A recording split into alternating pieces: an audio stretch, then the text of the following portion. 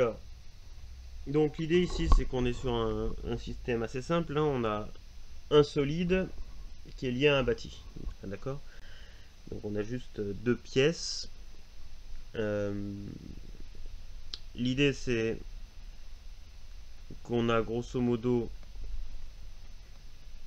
deux actions qui sont connues. Hein. On a Q ici. Et on a P ici. D'accord? Et on veut savoir ce qui se passe au niveau des liaisons.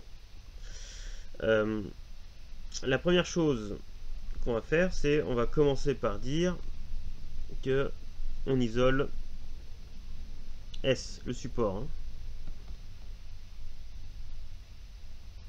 Je vous rappelle, on n'isole jamais le bâti, parce qu'en fait on ne sait pas ce qui s'applique sur ce qu'on considère généralement comme le bâti. Alors ici on est dans, l'espace, hein, parce que euh, vous voyez bien que Q et P sont pas s'exercent pas dans le même plan, enfin pas dans le plan ni dans le plan XY ni dans le plan ni dans le même plan YZ on va dire. Euh, et que les réactions du mur, enfin du bâti, sont, euh, euh, sont elles aussi dans l'espace. Alors, rapidement, on peut voir que la réaction du de, au niveau de la ponctuelle, ça va être suivant la normale hein, au contact. D'accord? Donc la normale au contact, elle est là. Hein. Donc là, vous avez deux choix. Soit vous dites, ben, en fait,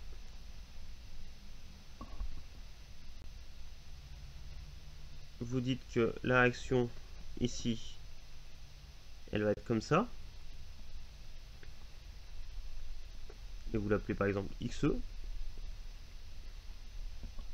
suivant la normale. D'accord Soit vous commencez déjà à avoir un peu de, de commande d'intuition et, et, vous, et vous, comprenez bien que la réaction du mur sur le support, elle est forcément vers la gauche.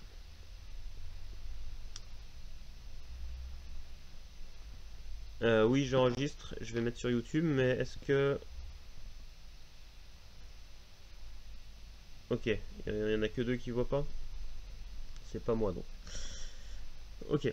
Euh, ensuite, au niveau de la pivot, bah, dans, la, dans une pivot, vous savez que vous aurez des composantes ici, je vais appeler XO, YO,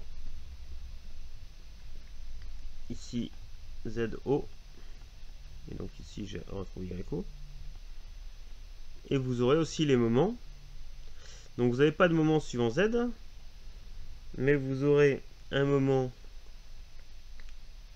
ici autour de X, qu'on va appeler donc LO,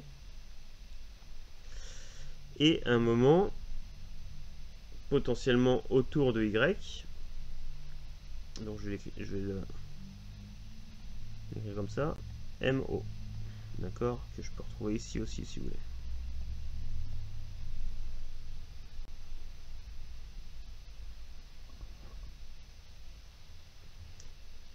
Euh, alors, graphiquement, on peut voir les choses comme ça, mais c'est quand même mieux de, l'écrire proprement. Donc ici, je vais écrire le bilan des actions mécaniques extérieures qui s'appliquent sur le support sous forme de torseur. Donc je vais, dans un premier temps, j'ai l'action de P sur le support. Donc ça, je vais pas trop m'embêter, je vais l'appliquer en G. D'accord? Et je sais que, grosso modo, j'ai juste une composante sur Y. donc j'ai un glisseur. Euh, j'appelle B la base générale. Hein. J'ai une composante, j'ai une action mécanique qu'on appelle Q support qui s'exerce en J et j'ai encore un glisseur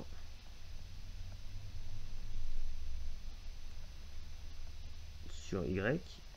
D'accord Après, vous allez avoir l'action, alors je vais l'appeler euh, RE.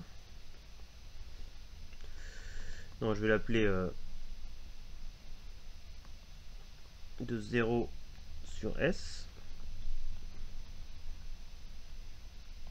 qui s'applique par la ponctuelle en E.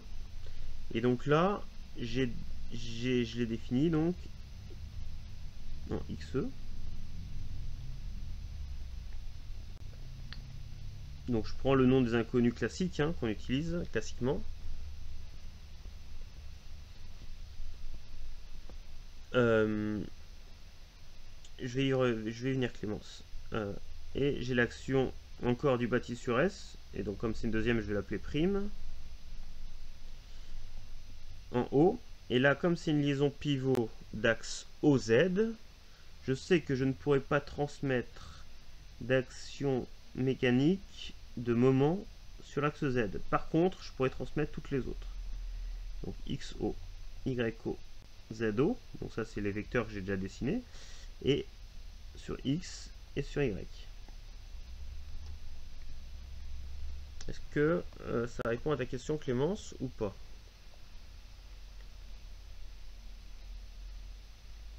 Alors je dis pas que MO va exister, hein. je dis que la liaison peut la transmettre. Mais je comprends pas comment ça peut la, transmettre vu qu'il n'y a qu'un degré de liberté en rotation pour une liaison N'y a qu'un degré de liberté en rotation, donc c'est le zéro que tu vois là. Je ne peux pas transmettre de moment sur l'axe Z. Sur l'axe OZ. Le degré de liberté, un degré de liberté d'une liaison, dans le torseur d'action mécanique transmissible, il se traduit par des zéros. C'est bon? Par des actions qu'on ne peut pas transmettre, puisqu'on peut transmettre le mouvement.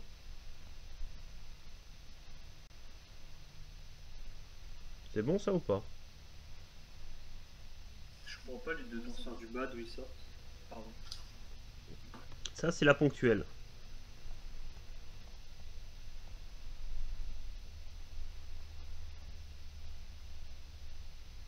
Ok, non mais celui de tout en bas, pardon. EX.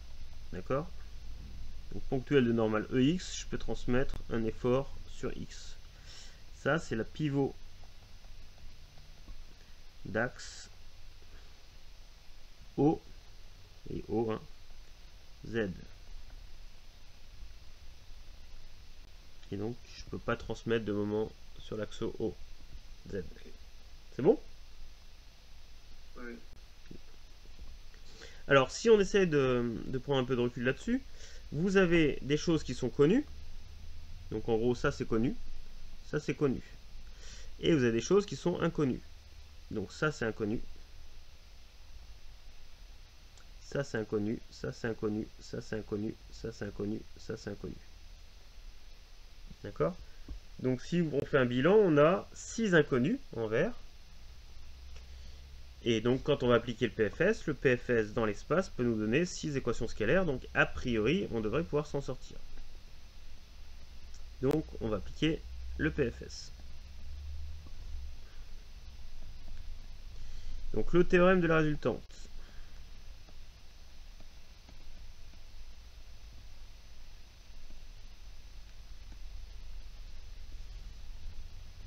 Donc, sur X, sur x, en gros, j'ai xo plus xe égale 0.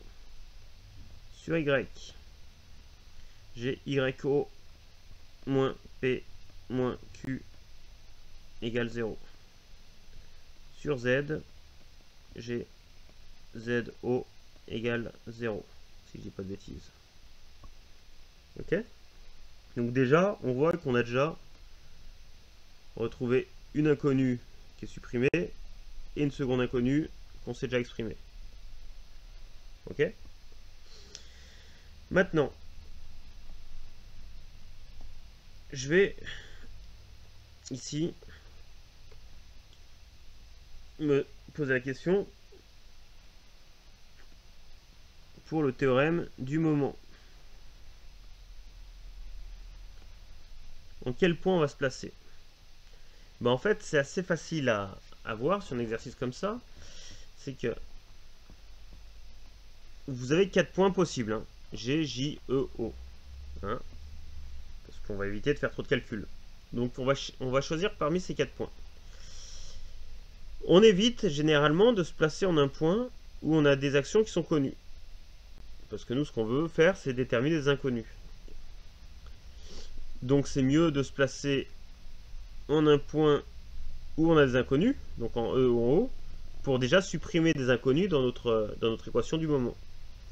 Et a priori, on va se placer plutôt en haut. Pourquoi? Parce que quand je regarde le torseur en haut, j'ai déjà 5 inconnus, 5 composantes.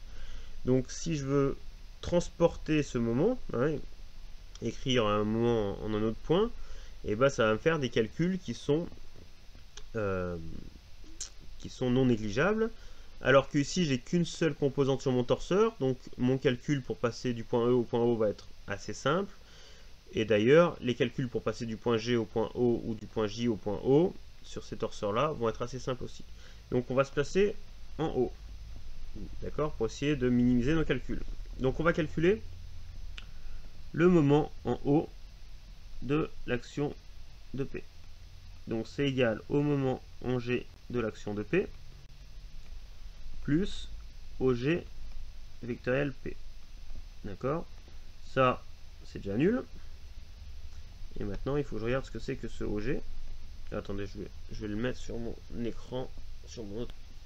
Donc ça, ça fait moins 0,6y moins 0,2x vectoriel moins p sur y. Donc ça c'est facile, y vectoriel y ça fait vecteur nul, x vectoriel y ça fait z, moins moins ça fait plus, donc j'ai du 0,2 P porté par Z. Maintenant, le moment en haut de ma charge, bah, ça fait le moment en J de ma charge. Plus OJ vectoriel Q. Donc ça, on a vu que c'était nul. Et OJ, c'est... Euh, c'est quoi? Voilà, OJ c'est 1 mètre en Y. Donc c'est moins 1Y euh, moins 0,3X et 0,3Z.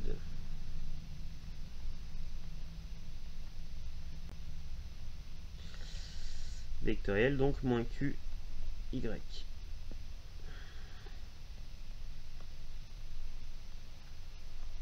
Et donc ça, ça me fait, donc y vectoriel y c'est nul, x vectoriel y, ça me fait donc 0, 3, q sur z, et z vectoriel y, ça me fait moins x, mais comme j'ai un moins, ça fait plus x, donc plus 0, 3, q porté par x. Et la dernière chose, c'est le moment en haut de l'action euh, de 0 sur s,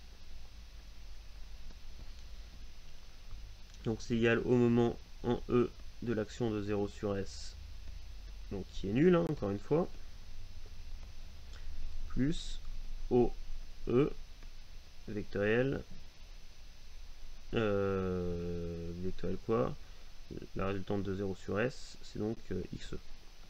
Donc OE, bah OE c'est moins 0,8Y. Vectoriel XE porté par x. Et donc ça, ça me fait du euh, plus 0,8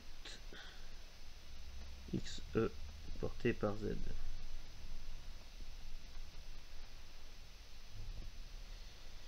Ok, donc le théorème du moment, maintenant, bah, je l'écris ici.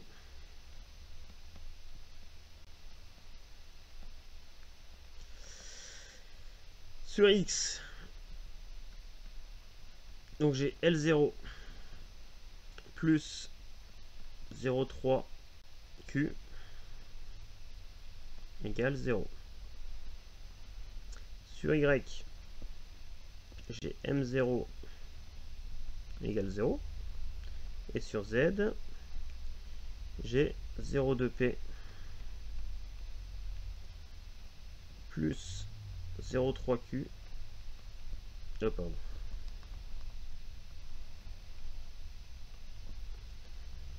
plus 0,8 xe égale 0.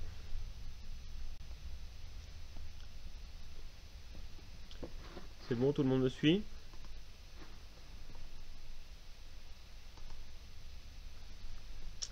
Donc, on voit aussi que M0, il est déjà, déjà trouvé. Avec ça, je trouve directement que XE, ça vaut donc euh, moins 0,2P plus 0,3 0,3 Q divisé par 0,8 euh, et qu'au passage x bah, c'est égal à moins x0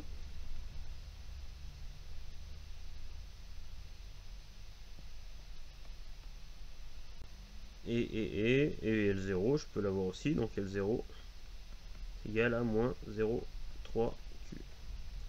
Donc on peut faire les applications numériques euh, attendez, je les ai pas.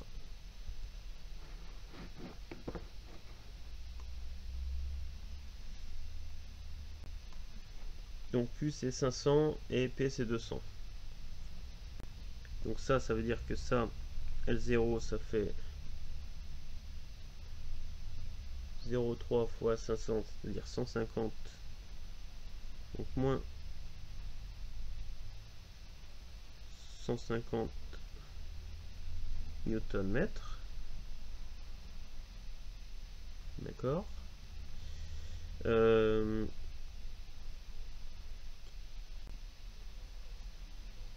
XE donc, ou moins XE qui est égal à X0 c'est ça 150 plus 40 190 divisé par 0,8 ça fait 237,5 newtons ça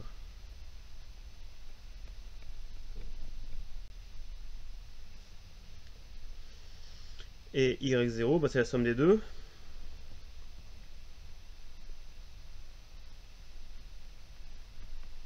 C'est donc 500 plus 200, c'est ça? 700 newtons. Ok Alors,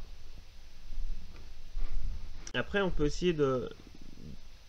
Merci. Euh, on peut essayer de, de, de vérifier physiquement ce qu'on vient de trouver là. En gros, ce que je viens de dire là, si j'efface tout ça, ce que je viens de dire, c'est qu'en fait,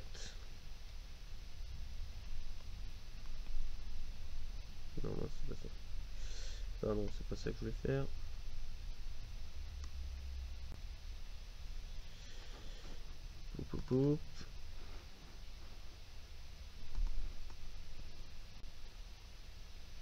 En gros, on est en train de dire que XE, il est négatif. C'est-à-dire que XE, il va être dans ce sens-là.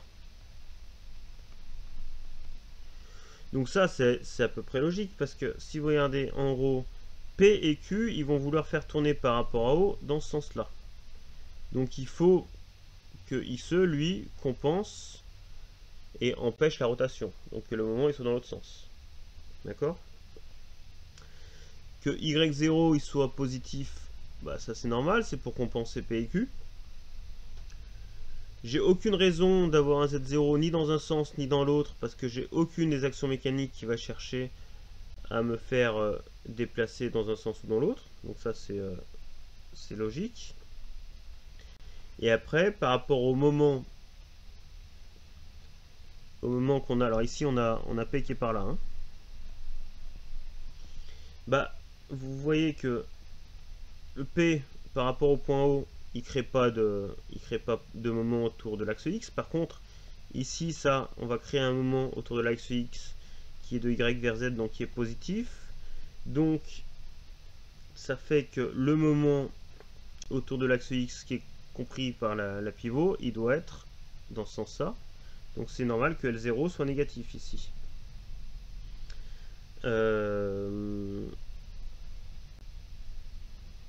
Ben voilà, je crois que j'ai fait le tour des inconnus.